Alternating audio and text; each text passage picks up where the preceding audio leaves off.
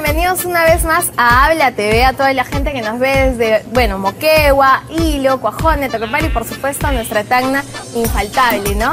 Y les cuento que el día de hoy empezamos cargados el programa y estamos desde el restaurante Caplina, que ha abierto, bueno, sus puertas el día 9 de este mes. Y por supuesto, infaltable, la mejor comida aquí, ya saben, es una buena opción para poder degustar estos platos peruanos tan buenos, típicos, pero por supuesto siempre innovadores. Y por eso que quiero agradecer esta vez al señor Fernando Pacheco Sandoval y también al señor Aldo de Marzo, quienes, bueno, son socios estratégicos y hacen posible que este, esta, bueno, esta realidad, ¿no? Este restaurante se encuentre aquí. Estamos en la avenida San Martín, en la cuadra 10, así que ya saben dónde venir a saborear de estos ricos platos. Y empezamos el programa. Dije, José Luis, ¿cómo te ha ido esta semana? Muy bien, full trabajo. Full trabajo, qué bueno, amigo. El trabajo siempre significa que nos va bien, así que qué éxitos. Entonces empezamos el programa como les venía diciendo y nos vamos a ir a un bloque especial. Como ustedes ya saben, nuestro primer bloque es Santa Fe y estuvimos en el restaurante Machu Picchu viendo los acabados que tienen, los nuevos materiales que nos presentan, así que ustedes ya los pueden tener en casa. ¿Cómo? Vean esta nota y la sabrán.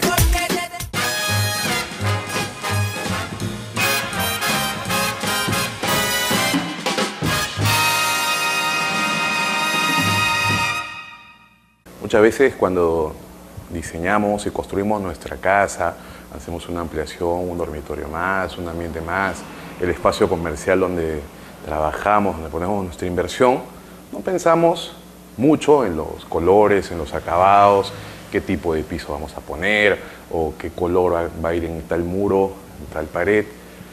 Sin embargo, eso es importante porque a la hora de habitar un espacio es simplemente el color y el tipo de acabados lo que le va a dar eh, ya sea el lujo o el espacio para que el espacio sea más cálido, porque finalmente es donde nosotros vamos a vivir.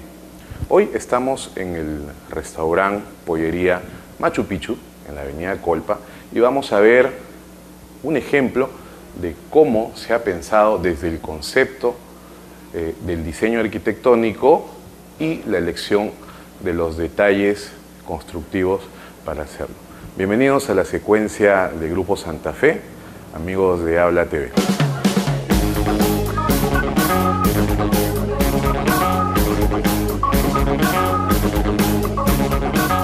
En sí, el diseño del espacio arquitectónico de este local comercial fue concebido con estos colores y también se pensó en un inicio con los materiales con los que se implementó tanto el piso, la barra, que la vamos a ver posteriormente, la escalera y cada uno de los detalles que fueron pensados para darle las, sensaciones al usuario desde un inicio. Básicamente acá las sensaciones eran las de tener un espacio limpio, mucho más pulcro, pero sin eh, dejar de lado el concepto de Machu Picchu y de que estamos en un ambiente, como estamos viendo también con los... Eh, adornos de las pinturas de la escuela cusqueña. Este proyecto se comenzó a concebir ya hace un año, es uno de los proyectos que, hice el año pasado, pero sin embargo lo principal es que ustedes puedan ver que es importante que desde un inicio, con la asesoría técnica adecuada, ustedes puedan escoger los materiales, los colores, eh, las paredes y los pisos con el objetivo de que se les pueda finalmente dar el producto que ustedes desean en cualquiera de los ambientes o construcciones que ustedes estén haciendo.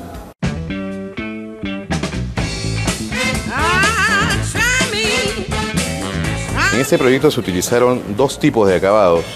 En el segundo nivel, el porcelanato de formato 40 x 40, tipo de color hueso, cual le da la pulcritud y la brillantez que se necesita en un espacio comercial de este tipo, lo cual eh, contrasta también con los colores de las mesas y el diseño de las sillas, así como con la iluminación que fue pensada también y adaptada en, este, en el caso de este espacio comercial para que tenga un juego y sea una sola unidad.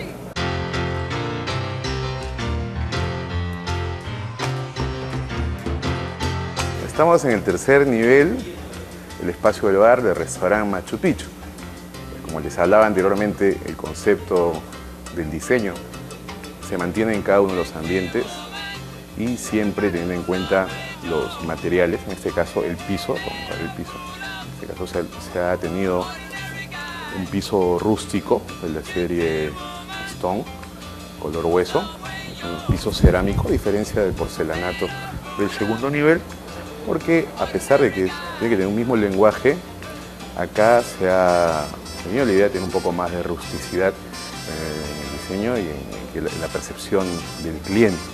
Podemos hablar también de los materiales, de los pisos, del, sistema de iluminación, etc. Pero lo que les interesa a ustedes es sobre todo tener en cuenta la correcta elección de los materiales.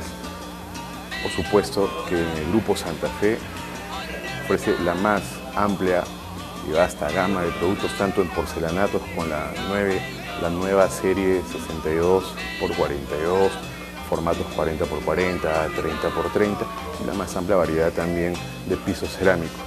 No se olvide que cuando piense en construir, cuando piense en diseñar, en Santa Fe tiene que confiar. Soy Eduardo Sánchez Vildoso, profesor técnico en diseño y construcción. Hasta la próxima.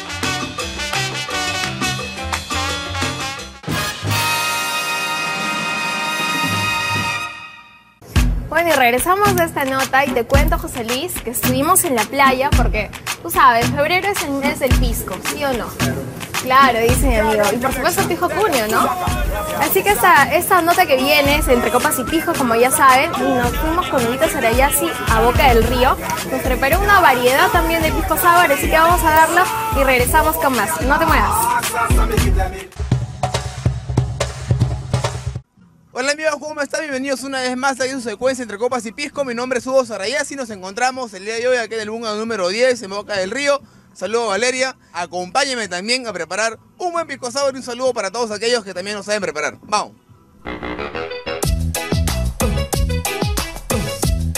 Vamos a preparar el día de hoy como tiene que ser un pisco sour. Primero siempre nuestro hielito, nuestro hielito. Enfriamos el utensilio donde vamos a prepararlo. Vamos ahí. Tenemos acá siempre donde escurrir el agua. Siempre licuadora o sea en coctelera hay que siempre enfriar el, utensilio a emplear. Bueno, pisco sour, una combinación muy fácil de hacer. Pisco, limón, azúcar, jarabe de goma, en tal caso.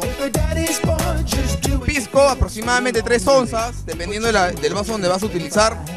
Jarabe de goma, te gusta más dulce, menos dulce, a tu preferencia. Vamos a utilizar una greta de huevo, vamos ahí. Después de greta de huevo viene el limoncito. Comenzamos de primero los limones, siempre verdes, por cierto, para que salga mejor. Vamos ahí.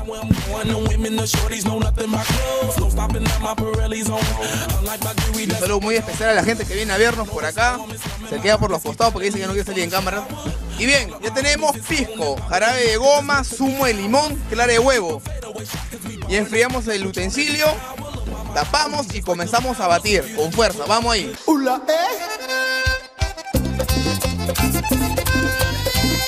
Un vasito apropiado, colador de gusanillo, para evitar que caigan los hielos y un poco de la espuma. Y comenzamos a servir siempre en la mitad primero.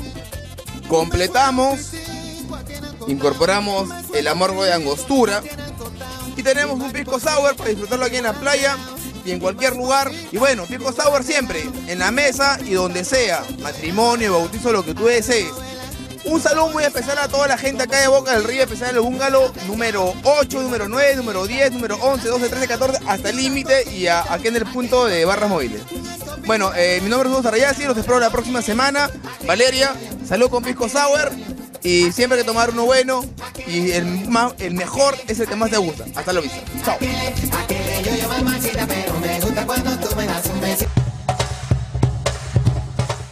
Bueno, y con esa nota llegó el momento de agradecer a nuestros auspiciadores también.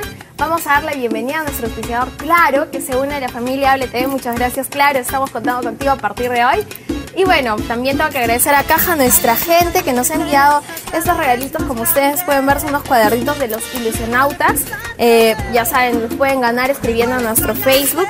Saben que Caja, nuestra gente, es auspiciador oficial de esta película que ya salió en estreno. Así que gracias, Caja, nuestra gente. Por supuesto, tengo que agradecer también a Supermercados Alba, que siempre dan nuestros precios al por mayor. Así que para todas las mamitas que ya somos en casa los fines de semana. Vamos a comprar alba a unos precios recontra cómodos. Y por supuesto, cómo no agradecer a mi hermosa cerveza Cristal, porque Cerveza Cristal nos invita a celebrar los diferentes veranos que tenemos en el Perú con nuestra gente y nuestra cerveza. Gracias Cristal, la cerveza del Perú. Así que con eso nos vamos a refrescar un poquito, nos vamos a una pausa comercial y con nuestra Cristal heladita regresamos con más.